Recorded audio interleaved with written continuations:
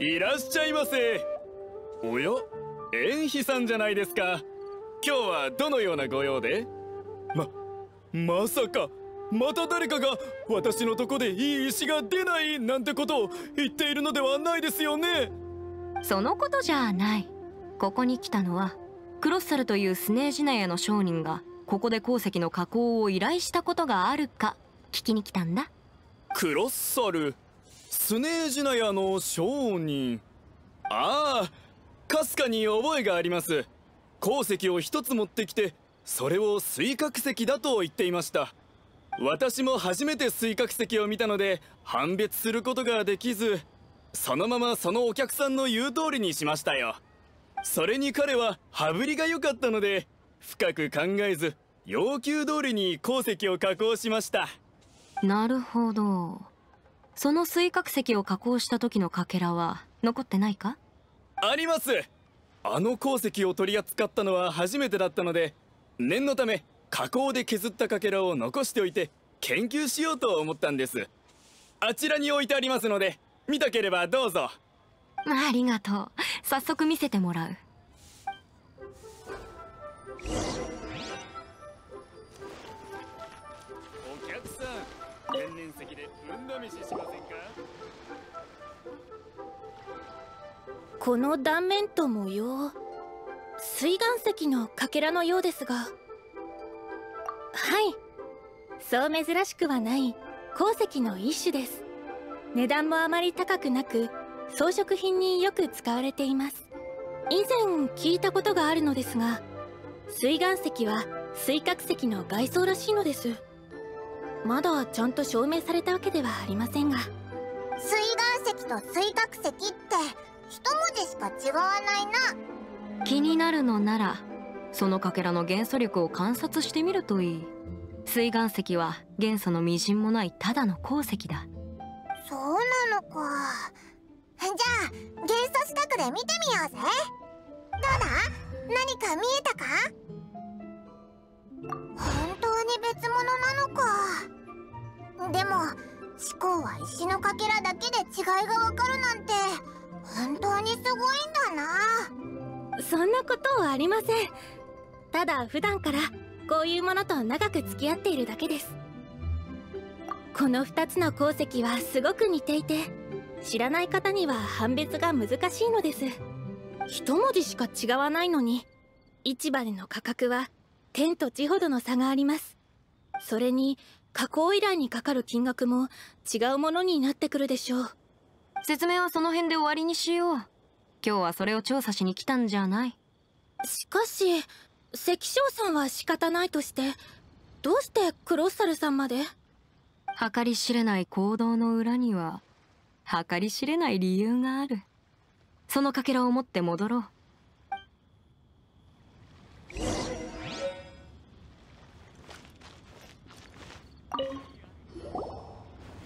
縁妃さんこれは一体？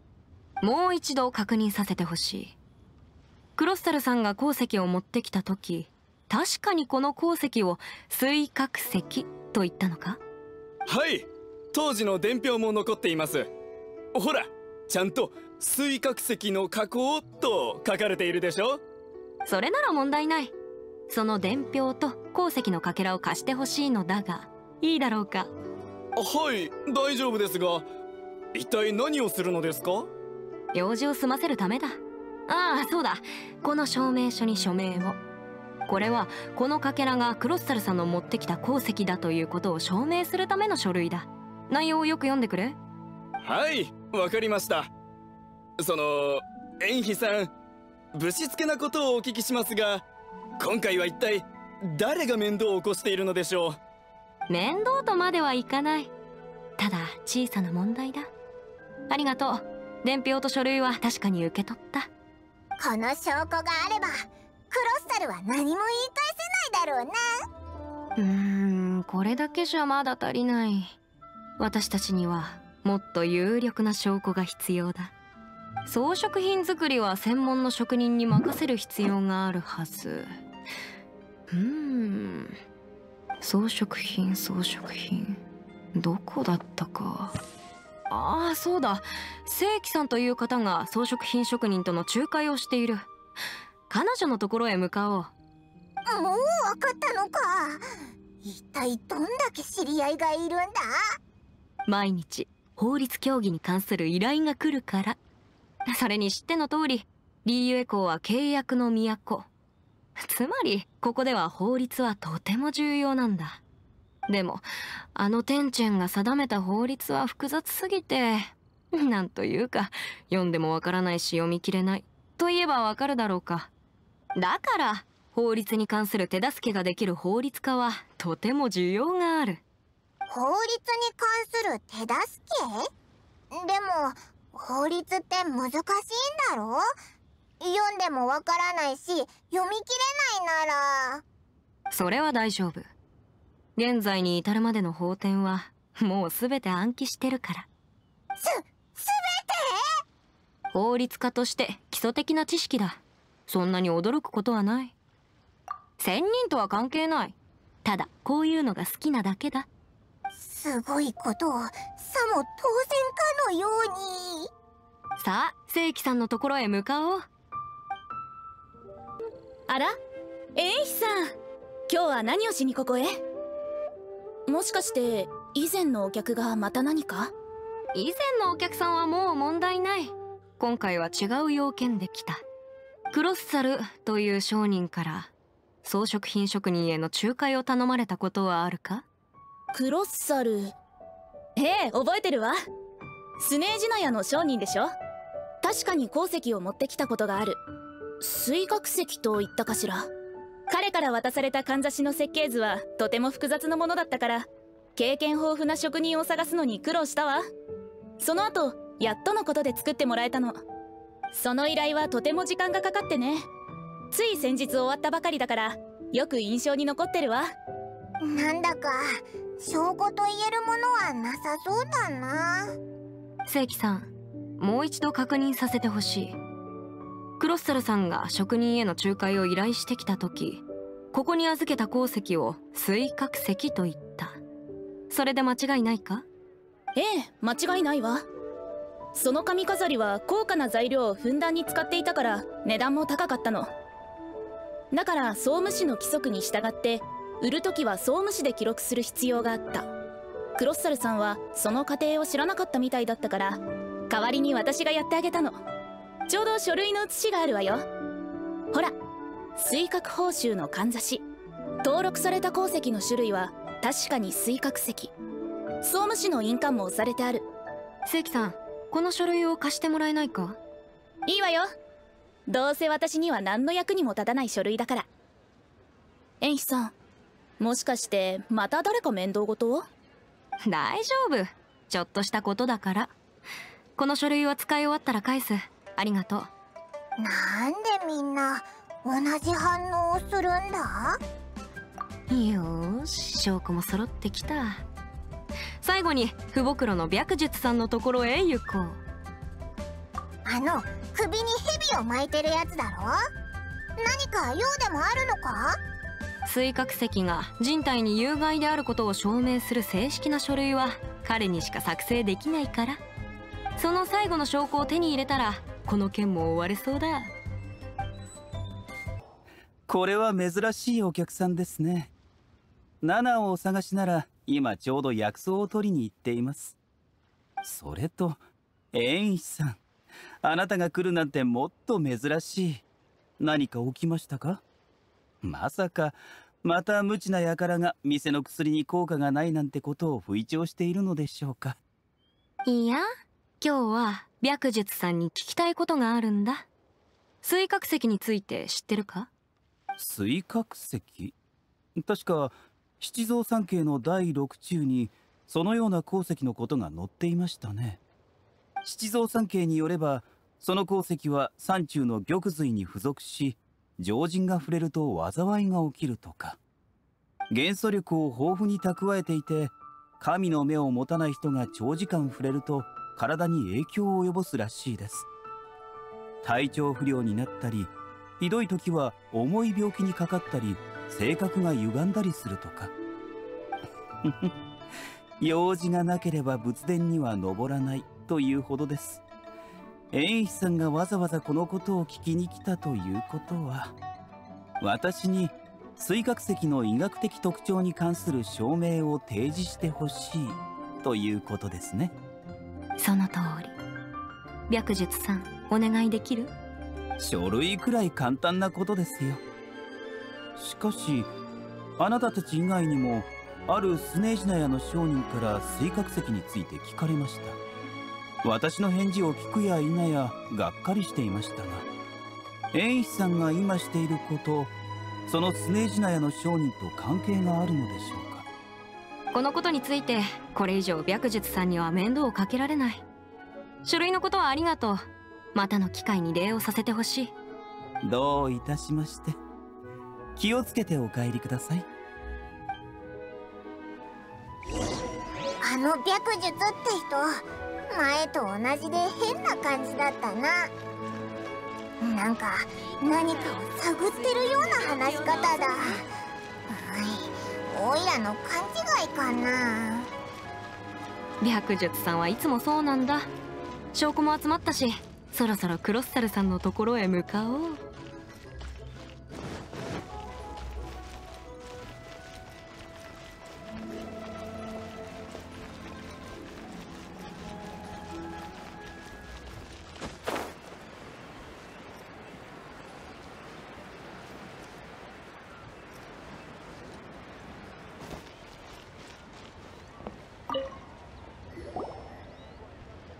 縁師さん。調査はもう済みましたか？弁償額の見積もりは終わったのでしょうか？ああ確かに調査は終わった。弁償金の見積もりも。それは良かったです。それでは見積もりを提示してください。契約にのっとりクロッサルさんは志向さんに商品の10倍のモラを支払う必要がある。はい。え？私が弁償を？縁師さん何か間違えているのでは？間違ってなどいない。私の調査とこれらの証拠により志向さんに課した水角報酬のかんざしは水岩石で作られたことが判明した。この契約には水角石が偽物であった場合には10倍のモラを支払うと書かれている。よって志向さんへは賠償金として10倍のモラを支払う必要がある。証拠？何の証拠があるというのですかエイさん。私を陥れようとするのはやめてください。私は大金を支払ってあの水角石を仕入れたんです。あの髪飾りの水角石が偽物だというのなら証拠を見せてもらいましょう。その鉱石が偽物である証拠。もちろん。関係者たちによってその証明はされている。旅人。私たちが集めた証拠を出してくれ。これは海水溝から手に入れた加工記録と鉱石のかけら。そして石章の証明書だ。それはあの石章ですら水角石か水岩石かわからなかったんですよ。そんな人がどうやって偽物であることを証明するのですか？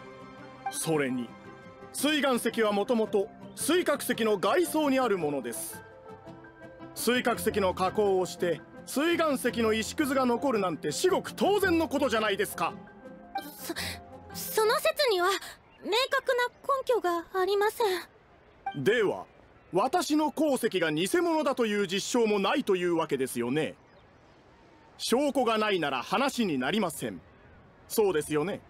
うー一つ目の証拠は役に立たなかったぞ。なんだか最初からどう言い返せばいいか分かってたような。ここの後はどうするんだ？法律を語るには証拠を。なあ確かにそれにふさわしい証拠がある。旅人出してくれ。ふん。その書類。私のかんざしが本物だということを証明しているじゃないですか。それに総務士の印鑑だって押されてあるかんざしに使っている鉱石は水角石です。そんな二つ目の証拠もダメなのか。なんだか余計自信をつけさせたみたいだぞ。うん確かに。その言い方であればかんざしが本物の可能性はある。もちろんです。本物を証明する証拠がこんなにもあるのですからまあ少し待て。まだ最後の証拠を出していない。旅人？あの決定的証拠を出してくれないか？ここれは。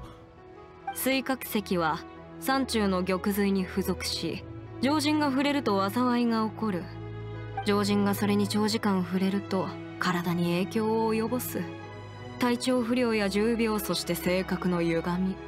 クロッサルさん？水角石の特徴は知ってただろうか？そそれは知りませんでした。知らなかった？ああそれもそうか。でもそんな危ないものを貸し出すなんて。どうやらこの先は私の範囲ではなく総務士の出番になるかな？あしかしもしクロッセルさんが知らなかったというのなら総務士もそれを考慮して見逃してくれるんだろう心配しないでほしいクロッサルさん。私たちが集めた証拠は後できちんと総務士に提出するから。総務士がこの件を審議するときは悪いが出席してもらうよ。ちょっとま待ってください。私は知って。知っていた？おやクロッサルさん。水角石の特徴を知った上でそれを。えいえそのそのかんざしにあるのはそういうものじゃなくじゃない？じゃないってもしかして。水角石じゃないということか？うーんそれならクロッサルさんは志功さんに商品の10倍のモラを支払うことになるが。クロッサルさん返事は？私と私の依頼人が待っている。わ私は？ヘイなんだか突然人が変わったみたいだな。認めます。そのかんざしにある鉱石は水岩石です。しかし私も運が悪かったんです。大金を支払い水角石を仕入れて髪飾りを作って売ろうとしたんですが水角石を手に入れてから何日も体の調子が悪く夜も眠れず食欲も湧かずそれになんだかずっと焦燥感に駆られてそれで父袋に行って聞いたんです。そうしたらこの石は身につけてはいけないものだということが分かったんです。しかしそれでは大金を支払ったのが全て無駄になるじゃないですか。だから水角石と似ている水岩石を使ってこのかんざしを。本物の水角石は特製の箱に入れてあります。触ることさえ恐ろしいのです。誰かに見破られるんじゃないかと怖くて。ひとまずかんざしは売らずに貸し出し品にしました。しかし志功さんに貸した後それをなくされてしまって。そうだぞ。本物じゃないならなんで志功にそんな大金を弁償させようとしたんだ？わ私だってしたくなかったんです。しかし水角石を買う時に商売仲間に知られてしまって私がいくら稼ぐのか今もずっと注目されていてもし偽物のかんざしのことがバレたらもうこの業界にはいられません。ああ身の上話はそこまで。そんなことに興味はない。契約にのっとり志功さんに10倍のモラを支払ってもらう。10倍今にも倒れそうだぞ。私は志功さんとの契約によりその賠償金の2割をいただく。に2割？あの水角石を仕入れた時以上の額じゃないですか。そのそんなに多くは支払わなくて結構です。あの髪飾りにあった水角石が偽物だとしてもクロッサルさんの髪飾りをなくしたことは事実ですし弁償すべきなのは私です。志功さんあなたはあなた様は。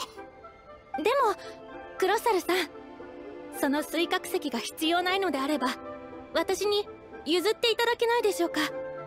それでおあいこということで。それははいわかりました。その石のせいで散々な目に遭いましたし。エイシさんその水角石は差し上げます。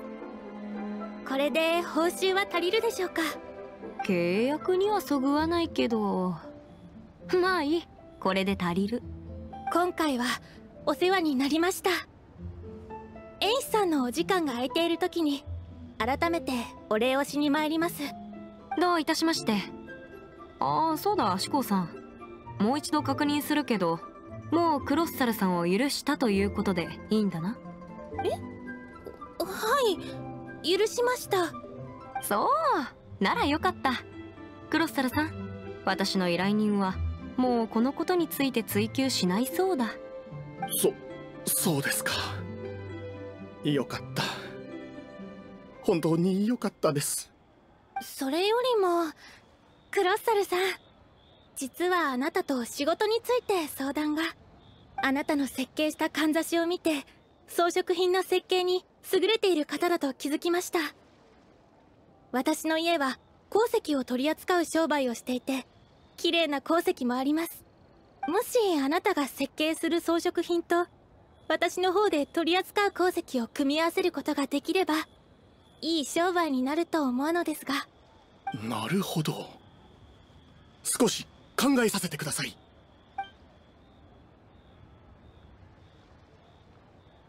よーしこれで解決。バーヤに頼まれてた水角石も手に入ったしめでたしめでたし。そうだな。かんざしをなくしたって聞いたら普通はそれを探すことになるのに。まさかこんな書類で解決しちゃうなんてな。でも結局かんざしは見つからなかったけど。目的が異なれば必要な手段も当然違ってくる私の依頼人である志功さんの目的は弁償金を削減すること。リーユを走り回ってかんざしを探すよりそのかんざしに価値がないことを証明する方が早い。千人。以前の戦いにお前が参加した時バーヤから聞いているだろ。今のリーユエコーは人間が統治する都。仙人とかいうどうでもいい身分よりも法律家としての身分の方が私にとっては大事なんだ。だって今のリーユエコーでは法律に精通している法律家の方が仙人よりもずっと役に立つから。誰かさんがそれを聞いたらどう思うか。必要なものも見つかったしバーヤのところへ戻ろう。きっと待ちくたびれている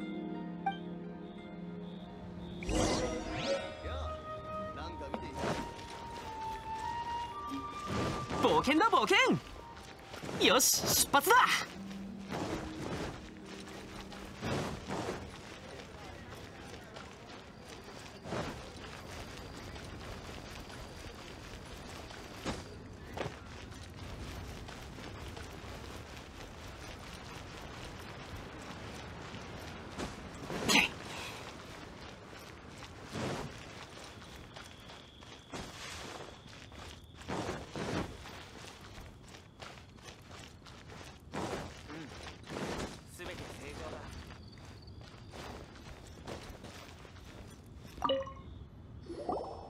おかえり。どうじゃ？水角石は見つかったかの？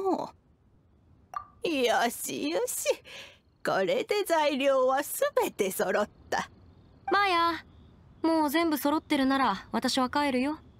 まだ大勢のお客さんが私のことを待ってる。ああもう帰っていいよ。後のことはこのバーヤに任せなさいじゃあ私はこれで。旅人？私からもらった名刺しっかり持っててよ。最近は他国の法律も研究してる。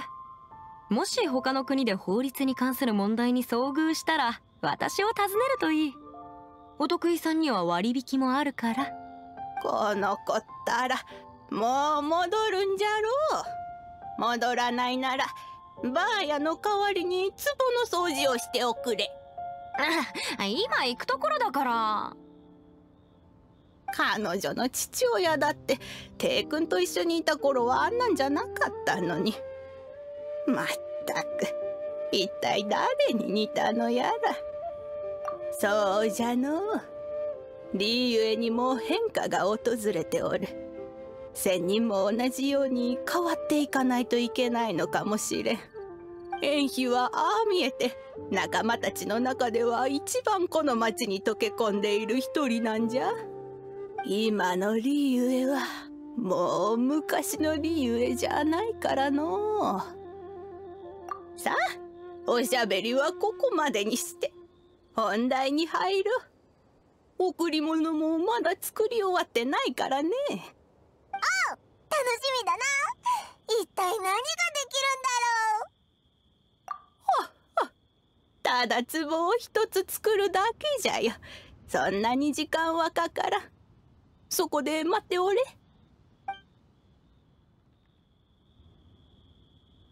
おれできたぞ。この人花壺を子供たちに送ろう。落とさないようきちんと持つんじゃよ。もし割れたら何が起きるかわからないからの。うそれとこの設計図。壺の中をもっとにぎやかにしたいならこれを使うといい。でもばあやこの壺をどうやって使うんだ？心配はいらないよ。もうおちびちゃんを壺の中に読んでおるこの人活簿に関することはその子に聞くといいじゃろ。う